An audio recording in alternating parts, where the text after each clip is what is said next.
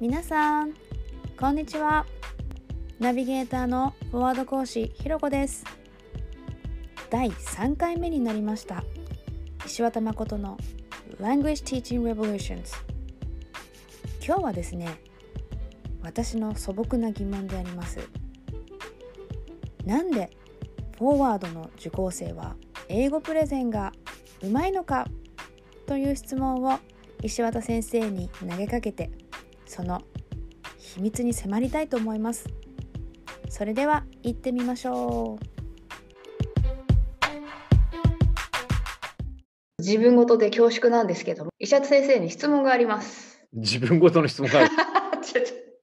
自分ごとのあ自分のクラスの話で恐縮なんですけどあ、はい、あの英語で地政学っていうクラスやってるじゃないですか。すごいね。最近地政学ってのよく聞くけど、英語で地政学とかやってるよね。それは私にとっても結構 challenging な subject だったんですけど、はい、一章ね5、5ヶ月ぐらいかけて読んで、プレゼンをしてもらうんです。1人5分ぐらいのまとめプレゼン。この間すごい驚いちゃったのが、みんなプレゼンうまい。うん、シンプルにすごいうまいって思って、で、それもですね、何ヶ月もかけて準備してるわけじゃないんですよ。2週間ぐらいなんですよ。プレゼンの準備期間って。俺あの聞いてる方、どういうプレゼンやってるのか分かんないと思うから、どういうプレゼンなの？例えばあの、この回はロシアについて、この回は中国について、でこ、この間やったのはアメリカ編なんですね。で、まあ、4、5ヶ月なあの学んだところから、各自面白いと思ったポイントをまとめていく、アメリカの歴史っていうことだったりとか、宗教観。まあ、独自の路線を広げる方たちも2週間ぐらいの期間があるの？プレゼンの前に？あの週に1回だよね。クラシッは週に1回なんですけど、うん、2週間ぐらいはみみんながプレゼン持ってきて、そのプレゼンをフィードバックし合うっていうこと。それがリハーサル2回やっただけで本番なんですよ。うん、2週間でこのクオリティすごいなって思う。まあ、全部英語でやってますし、や個人プレゼンでこんな普通ね、ベラベラ喋れないし、しかもまあ自分の考えをまとめるっていうのも難しいし、でそれはみんな普段からあのまあ私のクラスだけ取ってるわけじゃなくって、フォワードの必修クラスも全部やってる方たちだから、もうなんかそこに秘密があるんだろうと思ってですね、なんでこんなみんなうまいんですかっていうのを投げかけようと思ってます。教えて石跡先生っていう感じです。今の話聞いてると思ったんだけど、おそらくほとんどの日本人はまず日本語でプレゼンとかも用意するわけだよね。英語のプレゼンなのに。うん、日本語の内容を考えて、それを英語にしていくと。で、英語に自信がないから先生に英語を直してもらった後で、往々にしてそれをまた暗記まで入ってね。QA タイムなんかあったら困るなみたいな準備ですごい時間がかかると。時間かかって出来上がっても自分のものじゃないから結果的に英語になったものは自分の言葉じゃないからねうまく話せないし一方、まあ、我々のやり方は英語で考えるだから最初からみんなが英語で話せて英語で考えてっていうトレーニングをしてるでしょ？だからまあ自分の興味のあることに関してプレゼンしてくださいって言った時にそれもプレゼンの時間短くて準備の時間も短くて済むだろうし話しているそれぞれのね英語のレベルはそれぞれ違うにしてもでもみんなやっぱり自分の言葉で話すから。いや本当ですよみんななんか世界観が全然違くてですねそれが面白いんですよね。一つのことを学んでもみんな感じることって違うじゃないですか。それを自分の言葉で表現それぞれしてるから。あともう一つ言ってしまうと、まあ、環境的な中で言うとそういうふうにいろんな人がいろんなこと言える安心ができる環境っていうのがあるからだと思うんだよね。やっぱりこういうこと言われてあの英語の間違い指摘されないかなとかそういうレベルの人がというか環境が多いじゃないそうじゃなくてやっぱりその人の思いそれがどういうふうにあのみんなが聞いてくれるかっていうのも楽しいところで、なんか変なマイナスの負のような気持ちになってプレゼンしてないでしょ？それができてる。お互いにさっきフィードバックの話もしてたけど、フィードバックも本当にこうサポーティブな中でね、お互いこういうの学んだっていうようなことを話し合って、うん、お互いによいしょよいしょしてるだけではないんだけど、こういうところもないだとかね、はい、いろいろあるだろうけど、いろんな意味も含めて本当にサポーティブに温かい雰囲気があるっていうところ、その環境が言葉伸ばすために絶対必要ね。安心して話せる場所っていうのが。そうですね。普段から言葉を磨くっていうことをしてる人たちだから、こんなにスムーズにパッてできちゃうんだろうなと思っております。で当然その学んでいく中で言葉を話せるようにっていうことをやるんだけど単なる会話だけじゃなくて人前で話す方法だとか、準練習それとはいろいろしてるのでねだから話す内容がある国のことに関してであろうが仕事のことであろうが趣味のことであろうがみんなそれは自由に語れるようになってるはずなんですね。うん。その秘密は？先生。うん。あの、いろいろあるよ。いろいろ深いけど、深いですね。深いけどね、あの、まあ、いろんな、例えばフォワードじゃなくても、どこでも絶対に言葉を学ぶ、そしてそれ発信できるようになるためには3つのポイントがあると思ってて。私知らなきゃダメですよね。はい、知ってら知っててほしいけど、一番目は音です、はい、音の習得。うん、松本徹博士は言葉の意味は音にあると。ね、例えばよく言われるんだけど英語英語で勉強してどうして意味が分かるんですかとか日本語で聞かないと分からないっていう人がいるけどまずはその人がどういう話してるかその音を聞いてどう感じるかっていうところから入るのね、うん、同じ単語でも A さんと B さんと C さんが言った場合に違って聞こえるじゃない、うんうん、本当のその言葉っていうのは音から成り立ってると生きてる言語はね。だから音の習得から入るということを徹底しているじゃない？音か。音プラス見られてるからでどういうふうに発しているか、音と表情だとかね。でもね、基本的に一番大切な音なんだよね。うん、結構盲点ですね。うん、そう。で、大体音の習得ができてないから、普通の日本 普通の日本人の悩みって、やれ英語は聞けないだとか、話しても通じないとか、そこじゃない。あまりにも、あまりにも最初の一番目にやんなきゃいけないとか、欠けてるのが露呈してるわけだと僕は思いますけど。いや、でも本当にですね、フォワードの生徒さん、みんな発音いいと思います。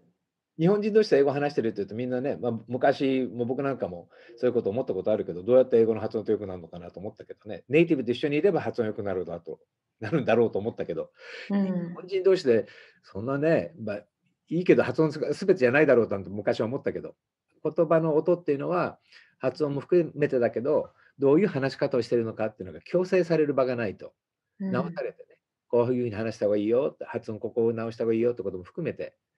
練習する必要があって、今話してるポイントはでも発音のことだけじゃないんだよね。はい。プラスアルファ、別に、えー、アメリカ人と同じ発音だとかなんとかってことを目指してるわけじゃないけど、その人が話したときに、その人の気持ちが伝わるような、英語でね、伝わるような、やっぱりあるんだよね、英語の波長っていうのがね。でそれを、ね、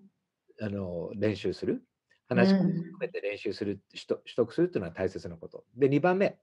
1番目はこの習得、はい、2番目は、そうするためにも、もっともっとフィードバックを得られる環境が必要なんだね。うん、一人で一生懸命練習してもね、どういうふうに直していいか分かんないじゃない？だからまあフィードバックを得られるところでアウトプットをどういうふうにしていくか。だからまあスクールのカリキュラム的にはいろいろあるじゃない？皆さんあるんですよ。いろいろあるの。単純に言うと、普通はあのグループレッスンっていうのは、そういうのが得られないんじゃないかと思う人が多くて、アウトプットの場も少ないし、うん、自分の番にならないと話せないだろうと思うから、60分あってもね、何分自分は話してんだろうか程度にしか思わない人いるけど、そうじゃない。うん、グループの中でお互いにこうアウトプットしながら、お互いにインプットするっていう、この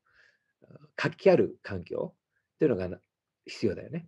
で。いろんな意味でフィードバック、いろんな人からフィードバックを得られるってことは大切ですよね。そう、フィードバック上げ慣れてるし、もらい慣れてるし、常にそれをトレーニングしてるからだと思うんですけど、フォワードで。いや、フィードバック上げるのって難しいですよ。私も難しいなって思うことすごいあるけれども、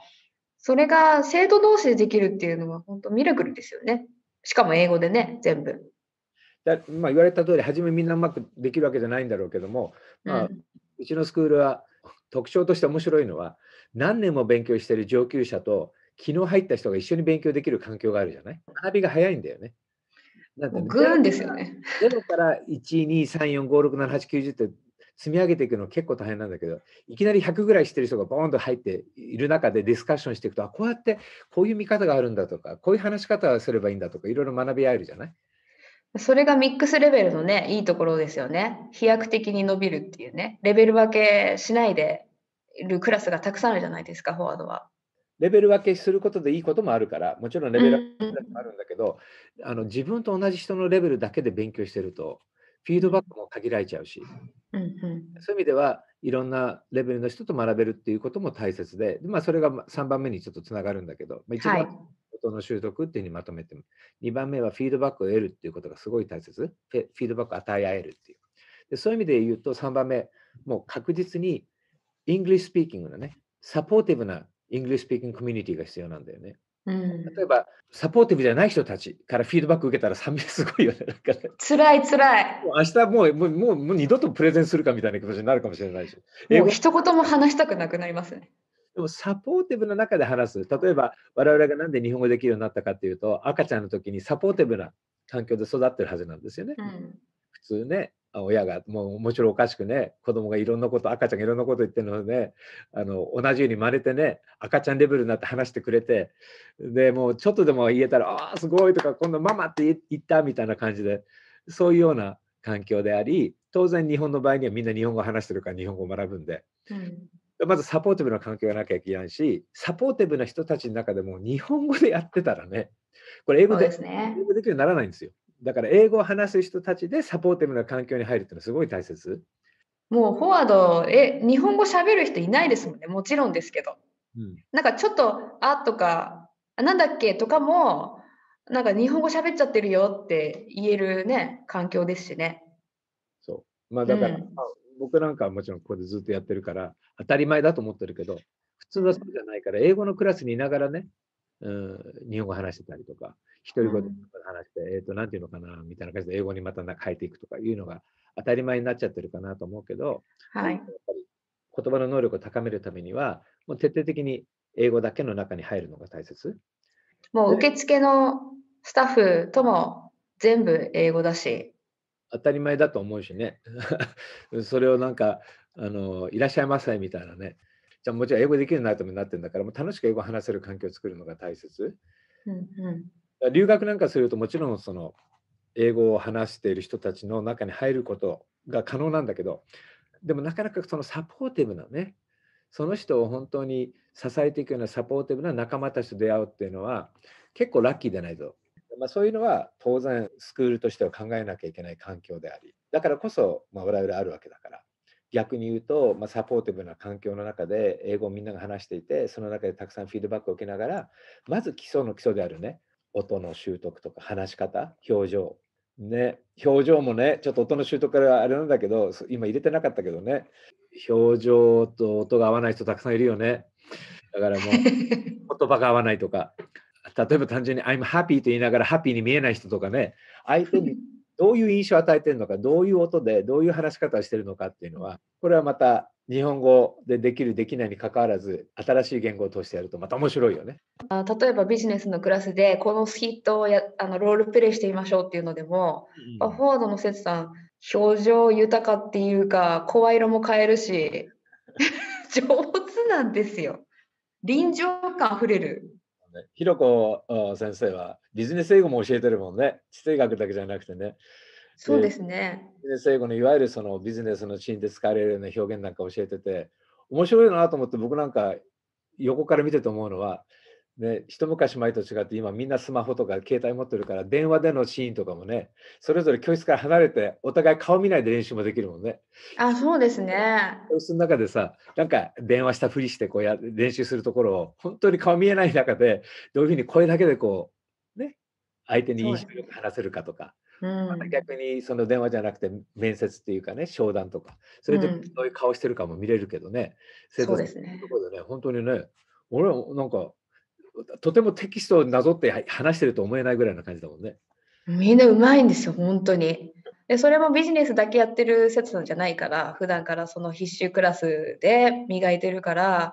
やっぱパッてやった時にすぐできますよね。その成果を私は日々ひしひしと感じております。まあもう今回はもう相当時間になっちゃったから、また次回以降の話したいけど、やっぱりそのはい。秘訣っていうのは、例えばドラマ教育だとか、うんスピーチ教育をするとか、そういうところに隠されてると思うね。そうですね。